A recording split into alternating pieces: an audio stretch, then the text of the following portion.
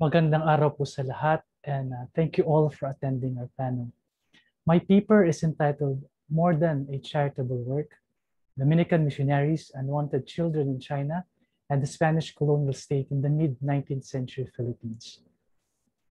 This paper is about the un an unsuccessful yet interesting project, a brainchild of the Dominican missionaries of purchasing and transporting unwanted children from China to the Philippines in the mid-19th century. It aims to examine why and how this project was conceived by the Dominicans, to identify the actors, institutions, and processes that should have been involved in its execution, to determine the factors that prevented its implementation, and to discuss some events that occurred as a consequence of the failed project. The main source of information I used for this paper was a series of correspondences among various groups and officials such as the Spanish ambassador to China, the Dominican Procurador of the Spanish Apostolic Missions in China, Cochin China and Tonking, the Governor General of the Philippines, and the Subsecretario of Queen Isabella II.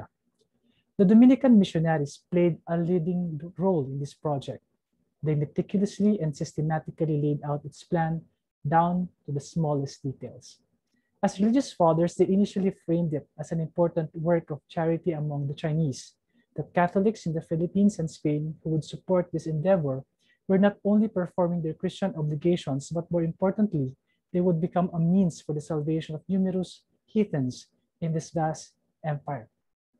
However, because the project required an enormous amount of funds, the Dominicans subsequently modified the framing of the project. Instead of only highlighting its religious dimension, they now also emphasize its economic advantages for the colonial coffers. For the Dominicans, the project was more than a charitable work. It was a pragmatic solution to address the labor and financial concerns in the Philippines during that time. This story of the Dominicans' child emigration project did not actually begin in China. It began in Sulu. In February 1848, Spain launched a successful military campaign in Balangingi an island in the Sulu archipelago, which served as an important base for the piratical, quote-unquote, activities of the Samal Balangingis. Since the 18th century, the Samal Balangingis ha had captured countless individuals from Luzon and Visayas and sold them in slave markets. After defeating these Moro pirates, quote-unquote, Spanish troops led by Governor General Ciso Claveria rounded up some 350 Balangingi women and children and brought them to Manila. From Manila, these prisoners, particularly the children, were transported to Cagayan, Isabela, and Nueva Vizcaya, and were adopted by Catholic families there. These families were tasked to care for and help these Muslim children convert into the Catholic faith. The Dominicans were the ones who proposed and spearheaded this transportation and conversion scheme among the Samal Balangingi children in the Cagayan Valley. They emphasized to Governor General Claveria that through this project, two interrelated uh, colonial goals were accomplished, religious and economic. For the Dominicans, the conversion of the Moro children's, uh, children from Sulu was an important achievement for the Holy Catholic Church. On the other hand, when these children reach adulthood, they would augment the insufficient labor supply needed for the government's tobacco monopoly. Since the 1830s, when the Philippines began exporting tobacco, the Spanish colonial government had been looking for additional laborers to, to plant tobacco. In fact, in 1842, Governor General Marcelino de Oraa issued a decree stating that young and physically able Chinese who were unable to pay their taxes had to be banished to Cagayan to farm this important cash crop. The Dominicans wanted to replicate the successful scheme among the Samal Balangingi children. But this time, their focus was on unwanted children in China. In the middle of 1848, Dominican missionaries in China, led by Father Juan Ferrando, began collecting information for the child immigration project. From their long history of missionary activities in China that started in 1587, the Dominicans were aware of two important facts that were crucial to their project. First, many areas in China experienced periodic natural calamities and social disturbances that greatly affected the lives of millions of Chinese. And second, Chinese families preferred male offspring over female ones.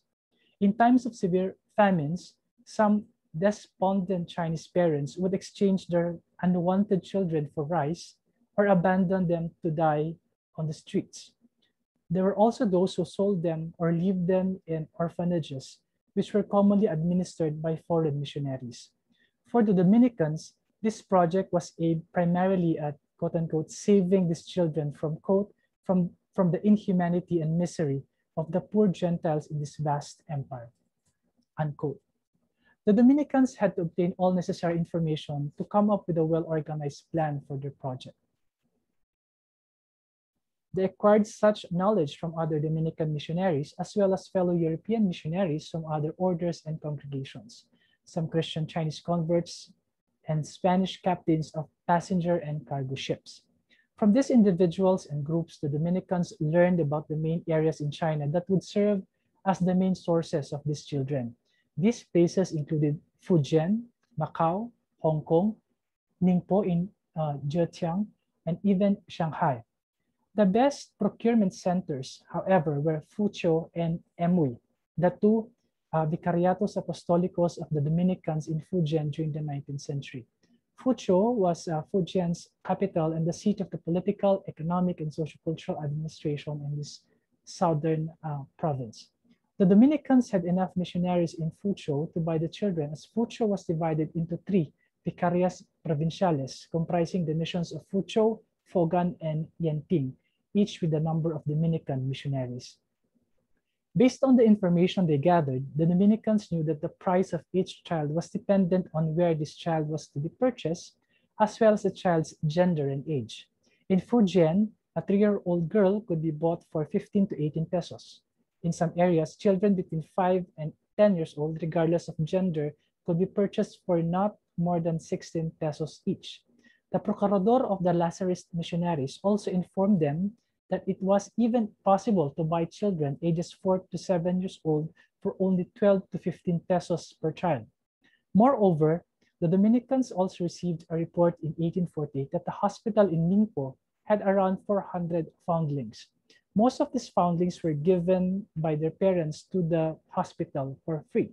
Only female children aged 11 and above were sold at an agreed price between the buyer and the hospital staff, as these girls could already do household chores. Due to the availability of numerous unwanted children, the Dominican set their goal of transporting some 2,500 children, the majority, if not all, would be females for the first batch of their project. In accordance with their plan, after acquiring the children, the Dominican missionaries would house and feed them for a few months while all necessary arrangements for the children's transportation were being undertaken. This included tra securing travel documents, coordinating with Spanish uh, ship captains in Hong Kong and Macau, and coordinating with the Dominicans in Manila, who were to send out these children to Catholic uh, uh, families. When the Dominican missionaries presented their project to the Spanish ambassador to China, Sinibaldo de Mas, and Governor General Narciso Claveria, it was evident that the religious fathers left no stone unturned. For these two Spanish officials, however, a fundamental aspect that needed to discuss further was the financial side of the project. Since the Chinese children would have to be purchased, how much was needed on a yearly basis? Where should the funds come from? and what benefits would the founder or funders gain from the project. In their proposal, the Dominican missionaries stated that the project needed around 8 to 10,000 pesos fuertes annually to obtain Chinese children and transport them to Manila. They admitted that they had some funds from their obras pias, but soon after the abolition of the galleon trade, this source of income had significantly diminished. Hence, they needed other institutions to implement their project. They identified two possible sources of funds.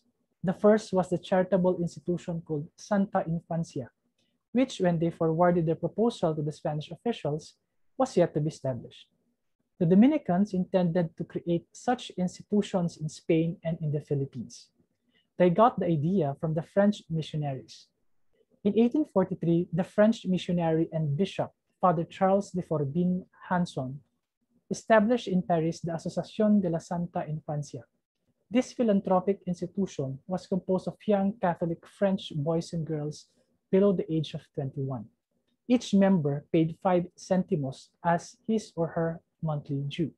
The collected amount was used to support French missionary activities in China and other idolatrous countries. The Catholic Church in France was enjoined to create branches of Santa Infancia in different areas of the country in order to acquire more funds.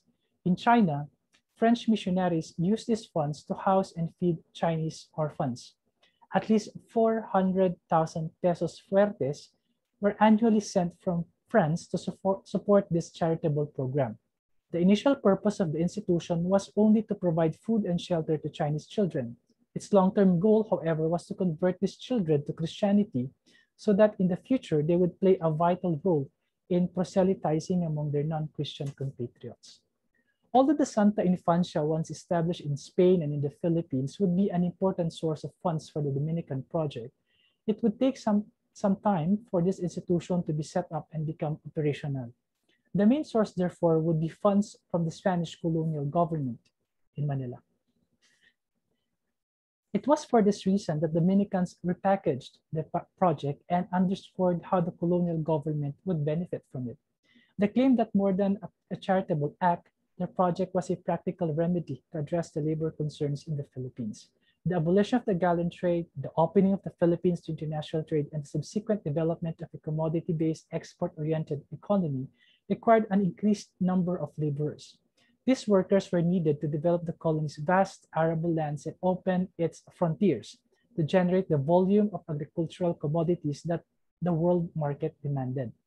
From the standpoint of the Spanish colonial authorities, the Indios Naturales or the Filipinos were inherently indolent and were not a, a reliable source of labor. So it was not surprising that the economy during the first half of the century was in the hands of the mestizos de Sangley or Chinese mestizos.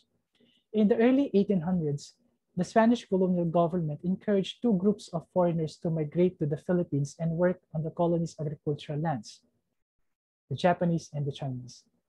While the Spanish authorities preferred Japanese agriculturists over the Chinese due to the former's exceptional work ethic, it was rather difficult to attract them to come to the islands. Uh, the long-standing commercial relations and migration networks of the Chinese in the Philippines, on the other hand, made it easier for them to migrate to and work in the colony. Framed within this context, the Dominican project therefore had a huge potential, albeit not to be realized immediately, to augment the number of native laborers in the Philippines. According to Dominicans, uh, Spanish colonial government would have the return of investment once the children reach maturity. Female children, uh, female Chinese children upon reaching mature age would be utilized as house helpers and nannies. They could also be married off to non-Christian men in the Philippines. They would then become instrumental in converting their husbands into Catholicism. Male Chinese children upon reaching adulthood could become missionaries in the Philippines or in China. Their primary purpose, however, was to become laborers in the cultivation and manufacture of tobacco and wine in Luzon and Visayas. These men and women who were once unwanted children in China would also contribute to the colonial coffers as they had to pay their taxes, which could reach up to 20,000 pesos fuertes every year, based on the calculation of the Dominicans. Governor General Claveria welcomed the Dominican project and viewed it with much interest and enthusiasm. The colonial treasury in Manila, however, had no funds for the project because the government had been spending heavily on its military campaigns in southern Philippines. After defeating and occupying Balangingi in 1848 and Davao in 1849, Spain aspired to subjugate the entire island of Mindanao such military operations needed a huge amount of resources. There were significant fiscal reforms initiated in the 1840s and 1850s aimed at generating additional funds for these costly campaigns, but these initiatives did not produce what the government had expected. Apart from spending for the preparation of the actual battles, the government also allotted funds for the pensions and compensations of Spanish soldiers who were physically incapacitated because of the involvement in the campaigns. Governor General Claveria was willing, but the government was incapable of financing the Dominican project.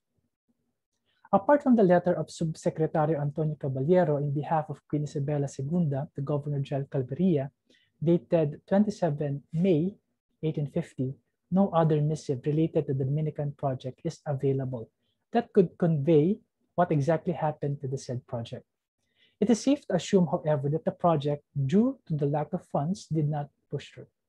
In 1855, half a decade after Caballero's letter to Governor General Claveria, Intramuros had 525 Chinamen and only seven females, two women and five children. In the same year, it was reported that Binondo, the economic center of the Philippines and the main place of concentration of the Chinese population to colony, there were 5,055 Chinamen, but only eight females. Of this number of females, three were seven years old and below, four were between eight and 14 years old, and one was between 14 and 25 years old. In terms of occupation and civil status, one was an unmarried helper, soltera criada, six were unmarried children, soltera niñas, and one was an unemployed married woman. While the Dominican project did not materialize, some sources suggest that their idea of transporting children, especially female ones, was taken up, albeit illegally, by unscrupulous individuals. Historian Monica Ginés Blasi argues that from 1850 to 1898, clandestine human trafficking occurred in the Philippines.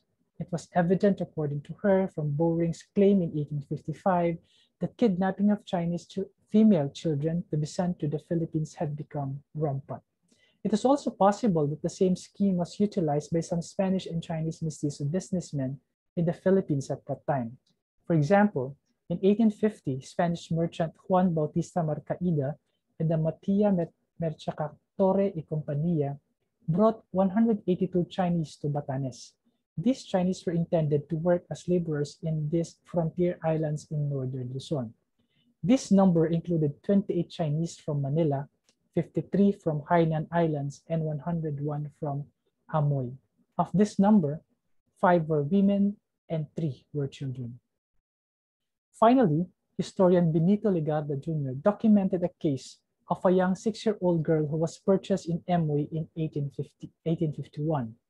Captain Juan Lopez of the Spanish ship Narciso uh, bought brought this girl to Manila and sold her to George and Josefina Sturgis of the American company Russell and Sturgis. It has to be added here that in 1849, the Dominican missionaries had already mentioned that there were uh, some ship captains who had the practice of purchasing children in China and then selling them in the Philippines for as much as 40 to 50 pesos each.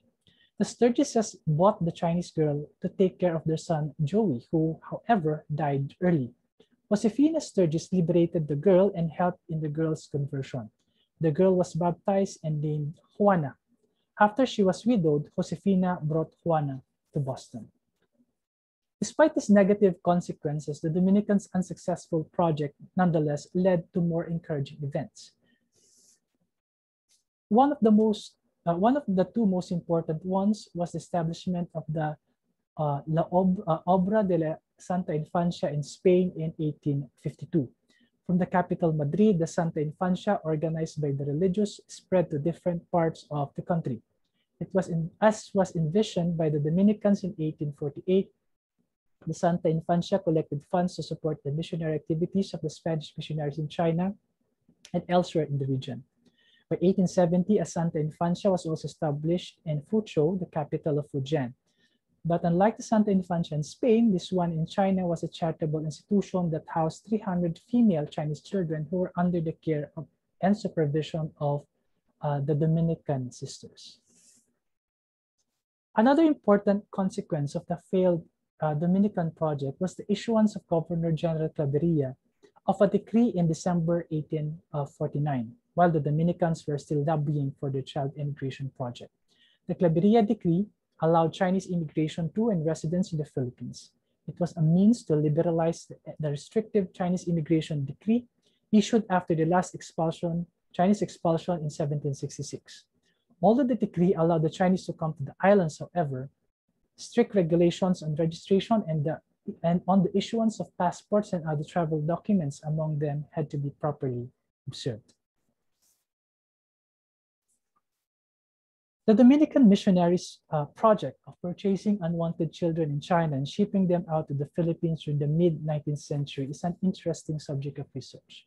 Although unsuccessful, this project highlights the role of the religious, in this case the Dominicans, in attempting to help find ways and means to address the lack of dependable laborers in the colony at that time. It also shows how the Dominicans' knowledge of Chinese culture and history and their transnational networks in China, the Philippines, and Spain were crucial in determining the best way that the project could be implemented. An examination on how the project was conceptualized and reformulated also demonstrates the interdependence between the Dominicans and the Spanish colonial state in maintaining, protecting, and advancing the respective agenda in the Philippines. It is evident from the discussion above that although the project had economic potentials, the Dominicans proposed it at an inopportune time.